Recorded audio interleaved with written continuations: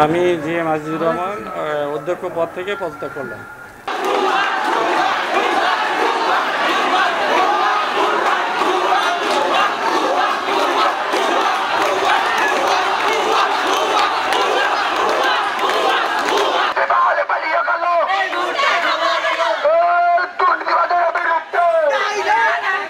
আমি ষষ্ঠ পর্ব সিভিল ফাহাদ বলতেছি।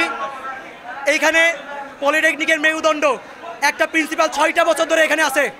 পলিটেকনিকের মেরুদণ্ড এক এক করে পুরোপুরি ভেঙে দেওয়া হয়েছে। তার ডকুমেন্টস আমার কাছে আছে। এখানে দেখেন, স্পষ্ট লেখা আছে।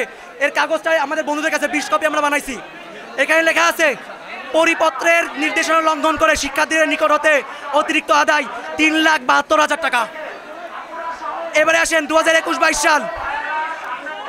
ম্যাগাজিন তহবিলতে ম্যাগাজিন প্রকাশ না করে আদায়কৃত অর্থ ধরে রাখা চোদ্দ লাখ বিয়াল্লিশ হাজার সাতশো চল্লিশ টাকা। সে ছয়টা বছর ধরে এখানে আছে। ছয়টা বছর ধরে আমাদের বাবার মাথার গাম পায়ে পেরে এগুলো উঠাই আমাদেরকে পড়াশোনা করাই সেশন ফির টাকা নয়শো পঞ্চাশ টাকা করে দিই। তিরিশ টাকা করে ম্যাগাজিন। এই টাকাগুলো সে ছয়টা বছর ধরে কেন ধরে এখন আমি বলি চোদ্দ লাখ এইটা হচ্ছে সাতাশ সাত দু হাজার তেইশ সালের। এখন হচ্ছে এক বছরে তিনটা সেমিস্টার হয়। এই তিন সেমিস্টারে এটা এখন দাঁড়াইছে আনুমানিক বিশ লাখ টাকা। সে ছয় বছর ধরে এখানে আছে।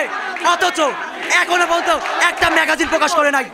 এখন আরও বলি, আমরা আরও বলি ইলেকট্রিক্যাল ডিপার্টমেন্টে সে দশ পনেরো, পনেরোটা যন্ত্র দেয়। তার ভিতরে দশটা অচল, পাঁচটা সচল। ডিপার্টমেন্ট হেডকে সে জিম্মি করে। তুমি এগুলো আত্মসাৎ করে লিখে নাও। আমাদের ইলেকট্রিক্যাল ডিপার্টমেন্টের স্যার, সেইটা সাইন না করায়, উঠতে বসতে তাই অপমান অপদস্থ করা হয়। এখন আমি বলতে চাই, এই স্বৈরাচার ছয়টা বছর ধরে এখানে উপস্থিত আছে। আমরা এই এই দুর্নীতির দোষর যারা তারা এখানে রাখতে চাই না।